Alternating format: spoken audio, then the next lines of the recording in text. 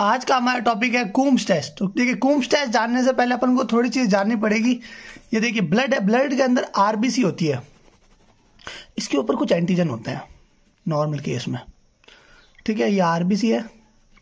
ये एंटीजन होता है और ये आर एच एंटीजन भी हो सकते हैं और और ए बी ब्लड ग्रुप के एंटीजन भी हो सकते हैं। जैसे हमारा ब्लड ग्रुप होता है, किसी का ए होता है, किसी का बी होता है तो वो ए बी एंटीजन भी हो सकता है और आर एच जैसे पॉजिटिव या नेगेटिव तो ये एंटीजन नॉर्मली होता है तो ये होती है नॉर्मल ठीक है बट अब क्या कुछ कंडीशन हो जाए, जैसे इम्यूनो हीमोलाइटिक अनीमिया ठीक है? तो उसमें क्या होता है कि आप एंटीजन के प्रति एंटीबॉडी बना देती है बॉडी शरीर में। तो ये ब्लड है आरबीसी है, और आरबीसी के यहाँ पे इन एंटीजन के अगेंस्ट में एंटीबॉडी बन जाती है।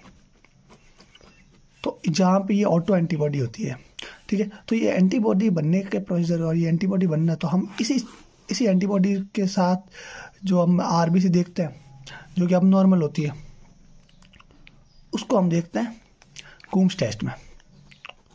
ठीक है?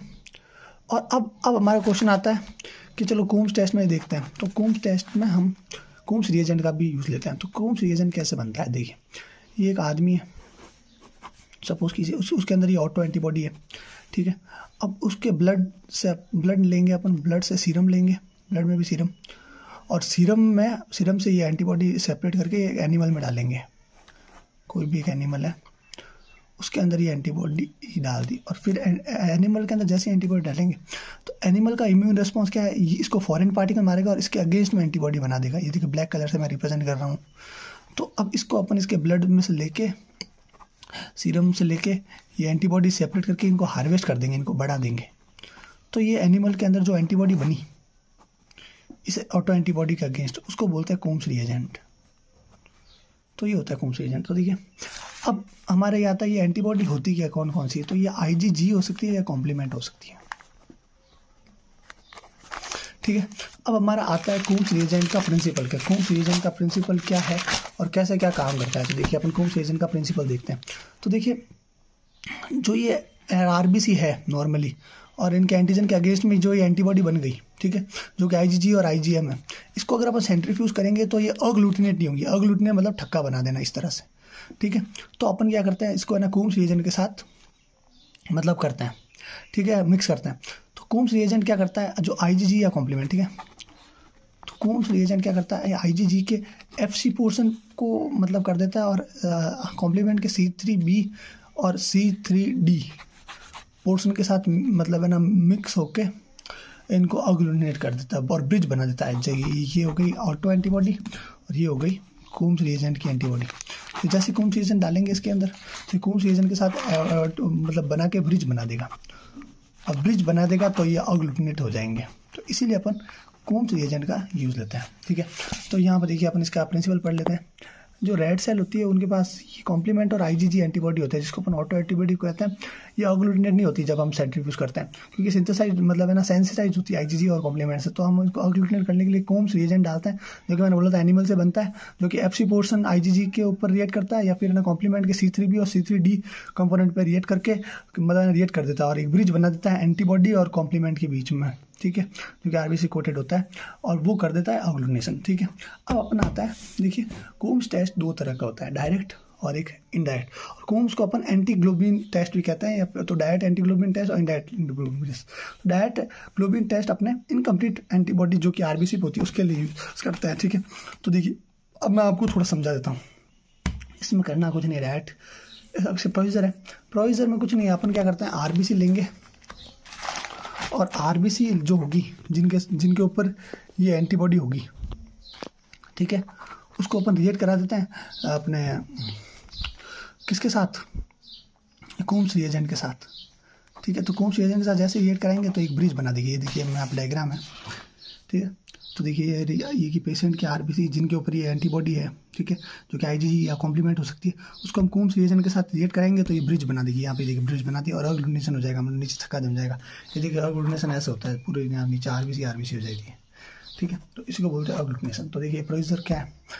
हम सैंपल लेंगे ई ब्लड का, ठीक है, और फिर अपन है ना आरबीसी को वॉश कर देंगे, क्योंकि अपन आरबीसी चाहिए।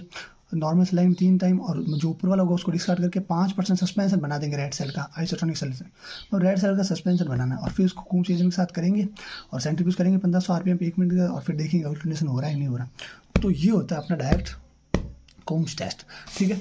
अब अपन आता है indirect Coombs test indirect Coombs test बहुत ही इंपॉर्टेंट है और इनके बीच में क्या अंतर है?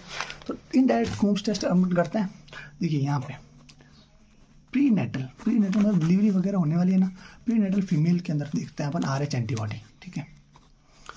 ये इसके लिए डिटेक्ट करते हैं ठीक है? तो इसमें क्या होता है? देखिए मैं बता रहा हूँ। ये सपोज़ कीजिए एक माँ है जो कि प्रेगनेंट होने वाली है। और इसको इस, इसका है आर एच नेगेटिव मतलब इसका आर एच नेगेटिव है रिसस फैक्टर नेगेटिव है और इसके पेट के अंदर बच्चा है ठीक है? और बच्चा है वो आर एच पॉजिटिव है। ठीक है? अब तो क्या होगा? फ़र्स्ट टाइम डिलीवरी होगी ना? तो यहाँ पे और है ना, इसका बच्चे का ब्लड और है ना, माँ का ब्लड अगर मतलब कौन मतलब है ना कांटेक्ट में आ गया तो माँ के अंदर एंटी आर एच एंटीबॉडी बन जाएगी। ठीक है? फिर और और वो मतलब है ना क्रॉस कर देगी प्लेसेंटा को। सेकेंड डिलीवरी में। सेकेंड डिलीवरी टाइम क्या होगा? ये क्रॉस कर देगी प्लेसेंटा को। और क्या होगा? बच्चे को, बच्चे के लिए हार्मफुल हो सकती है, बच्चे को मार सकती है। तो इस कंडीशन को अपन बचाने के लिए, अपन पहले ही देख लेते हैं कि भाई इसके अंदर ये नाइनटी आर एच मतलब है ना नहीं हाँ बॉडी है कि नहीं है। तो उस देखने के प्रोसीजर को अपन इनडायरेक्ट कोम्स टेस्ट में देखते हैं। तो उसमें क्या करते हैं अपन? देखिए नॉर्मली तो अपन क्या कर रहे थे? नॉर्मली तो अपना ये था कि अपन मतलब आर ले रहे थे बट इसके अंदर क्या करेंगे अपन? जो माँ का ब्लड है ब्लड लेंगे ब्लड में सीरम वगैरह लेंगे और सेल्स वगैरह लेंगे और वहाँ से अपन क्या करेंगे, जो ये एंटी आर एच एंटीबॉडी है, इनको अपन कलेक्ट कर देंगे। और ठीक है, अब इनको अपन ने कलेक्ट किया और ब्लड होगा ना जो आरबीसी होगी, वो मतलब माँ के अंदर जो वो मतलब मदर होगी, उसके अंदर वो आरबीसी नहीं होगी जो कि एंटी आर के साथ अटैच हो। तो अपन क्या करेंगे मतलब किसी डोनर से लेंगे या तो किसी एनिमल से ले लेंगे या फिर किसी और आदमी से लेके आर पॉजिटिव ले लेंगे अपन। एंटीबॉडी, जो कि इन एंटी आर के ऊपर अटैच हो सके। फिर जैसे ही अटैच होगी, फिर अपन क्या करेंगे? जैसे आरबीसी और इसके ऊपर अटैच हो गई, ये तो अपने डोनर से ली ठीक है? और ये मदर के अंदर थी, अपन ने इसको सेपरेट किया। फिर इसको अपन है ना मतलब वही सेम प्रोसेस करेंगे जो डायरेक्ट के अंदर करते हैं। क्या करेंगे? फिर इसको मतलब वो नाम क्या है? कोम्स रिएजेंट के साथ रिएक्ट करा देंगे और फिर देखेंगे कि ये मतलब है ना, यहाँ पे इनका थक्का बन रहा है नहीं बन रहा। तो देखिए, मैंने जो आपको समझाया है, वो देखिए यहाँ पे। ये होगा मदर के अंदर एच और ये डोनर से ले लेंगे, किसी भी मैंने इसीलिए मैंने यहाँ पे ये डोनर से लिया, इसीलिए मैंने बोला था ये तो एनिमल से लेंगे या फिर लेंगे। तो क्योंकि ये ये एंटी आर एच और ये क्यों लेंगे? क्योंकि ये बॉडी मतलब मदर के अंदर नहीं बनेगा। और फिर ये जो, फिर ये दोनों का मतलब है ना अटैचमेंट हो जाएगा। फिर अपन इसको कोम्स रिएजन के साथ जब रिएक्ट करेंगे तो यहाँ पे ये थक्का जम जाएगा। इसका प्रोसीजर किस तरह से होता है? तो अपन क्या करते हैं? तीन टेस्ट ट्यूब लेते हैं, ठीक है? तीनों टेस्ट ट्यूब को अपन अलग अलग नाम दे देंगे। तीन टेस्ट ट्यूब ली और तीनों को अलग अलग नाम देंगे। एक को टेस्ट दीजिए, एक पॉजिटिव कंट्रोल एक नेगेटिव कंट्रोल फिर इसके अंदर अपन ने क्या डाला? दो ड्रॉप डाले अपन ने टेस्ट सीरम इसके अंदर टेस्ट सीरम डालेंगे, दो ड्रॉप ठीक है? इसके अंदर एक ड्रॉप डालेंगे एंटी डी सीरम और इसके अंदर डालेंगे नॉर्मल सलाइन एक ड्रॉप का। ठीक है? फिर इन तीनों टेस्ट ट्यूब के अंदर अपन क्या डालेंगे? अपन आर एच पॉजिटिव डालेंगे सेल और क्यों डालेंगे आपको मैंने बता रखा है। ठीक है?